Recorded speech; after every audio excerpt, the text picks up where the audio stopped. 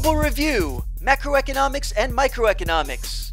For use with introductory college macro and micro courses, as well as the AP macro and micro exams. Today, we're going to go over everything that you need to know about monopolies.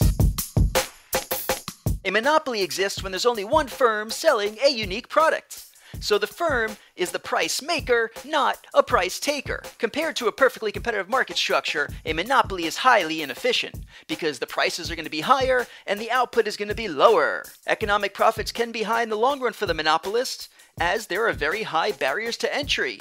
A monopolist is going to enjoy economies of scale over a large range of output, making it nearly impossible to compete against this massive firm. An example of a monopoly would be the utilities, like electricity. To illustrate unregulated monopoly with an economic profit, the price as represented by the demand or average revenue curve must exceed the average total cost curve at the MR equals MC level of output. Demand is downward sloping for the monopolist since it represents the entire industry's demand.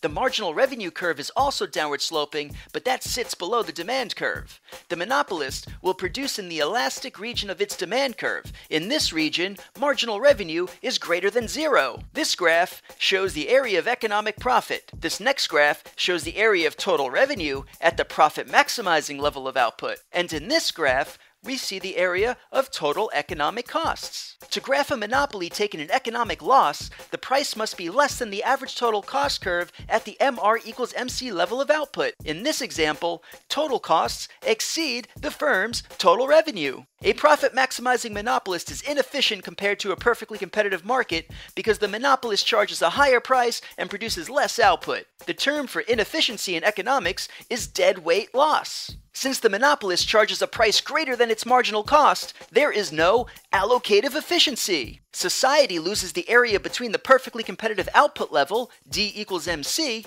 and the monopolist's output.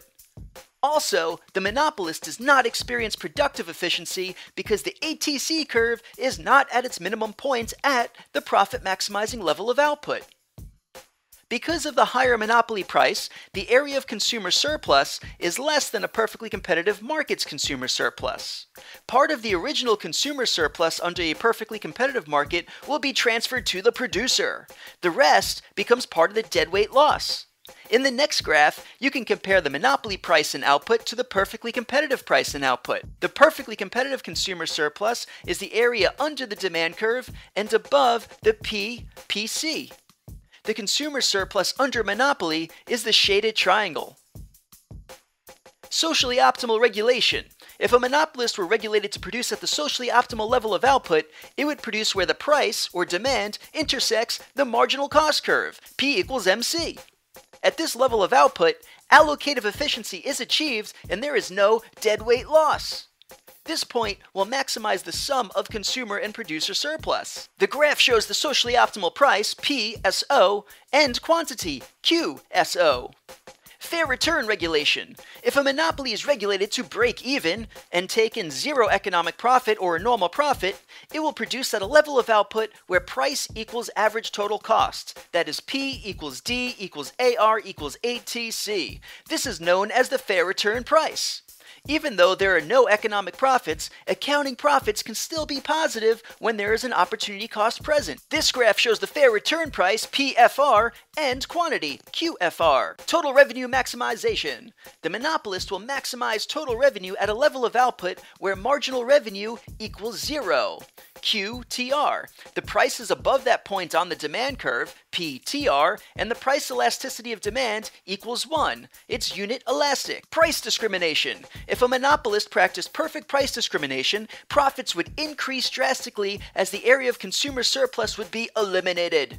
Each consumer would pay the highest price that he or she is willing to pay the former consumer surplus becomes part of the economic profit. But society will get a more socially efficient level of output because MC would equal D.